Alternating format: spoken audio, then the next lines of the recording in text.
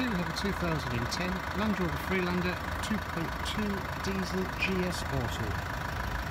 This is the more powerful SD4 version, finished in grey metallic and featuring front fog lamps and headlight washers.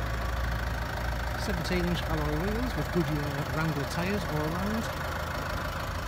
Factory light tinted rear windows. Black cloth interior with seat heaters automatic gearbox with manual shift function. And terrain response four-wheel drive. Hill descent control. Automatic climate control. CD radio with aux input. The car's covered 63,475 miles.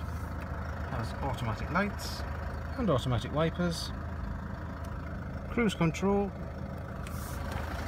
electric windows all round and electric folding door mirrors.